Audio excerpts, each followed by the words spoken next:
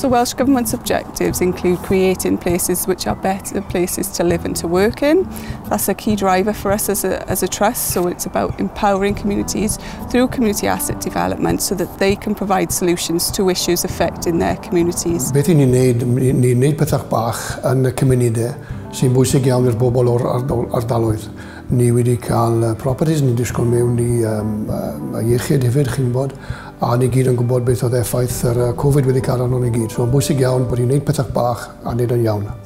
Some of the organisations and the range of assets that we work with include Minders Welfare Halls.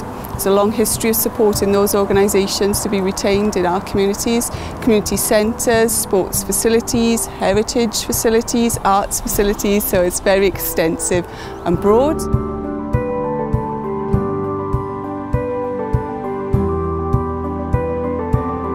run a food bank, you know, so every fortnight people come and just collect bags of food. With the rising cost of living, people got a job just to even put the electric on, never mind buy food.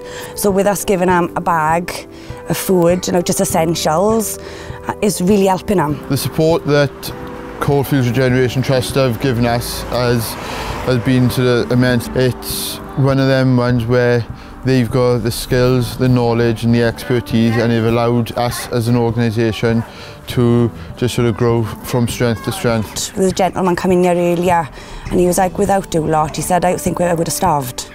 So it is helping people. A fe'n bwysig iawn achos i ni'n deall beth sy'n digwydd ar y ddiar. A ni'n siarad gyda pobl sy'n neud bethach um, bob dydd So beth ni'n neud yw ni'n siarad gyda nhw, maen nhw'n gwybod beth yn y moyn, a ni gobeithio gallu dod lan ar, ar, ar bethau chi'n neud nhw. Dechreuodd sefydliad celf Joseph Herman Cymru uh, dros 20 mlynedd yn ôl, pan uh, welon ni wrth siarad â yn gilydd, uh, sylweddol o'n i bod, um, bod ddim i ddangos bod Joseph Herman wedi byw a gweithio yn yr ardal. Dechreuon ni dros 20 mlynedd yn ôl gweithod uh, grwpiau yn ysgolion a disgu iddyn nhw pethau amdano hawliau dynol a'r bywyd oedd Joseph Herman wedi uh, byw a fel yr effaith oedd e wedi cael ar ei waithau. E. A oedd arni, mae'r pethau wedi newid dros y blynydde a nawr mae, mae oedolion hefyd eisiau cerdded yn olion trad Joseph Herman a disgu am uh, i waithau e, a fwy am i waithau a'r bywyd oedd wedi byw yn yr ardal.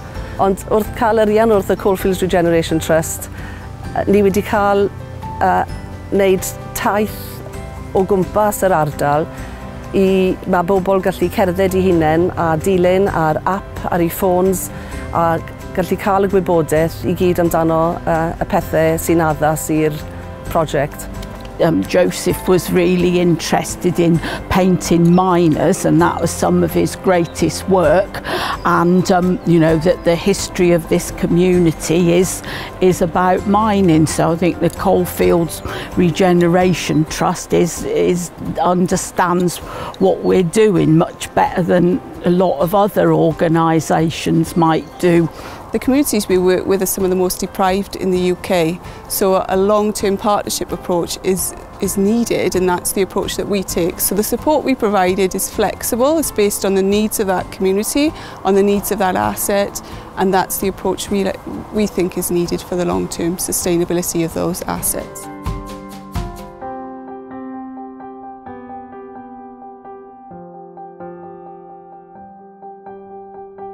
Cambrian Village Trust has, has evolved over the years. Um, obviously, and health and well-being has become a massive part of our project now, and creating a community hub facility here uh, with the you know, community cafe attached has been a great uh, meeting place for for people in terms of growing friendships.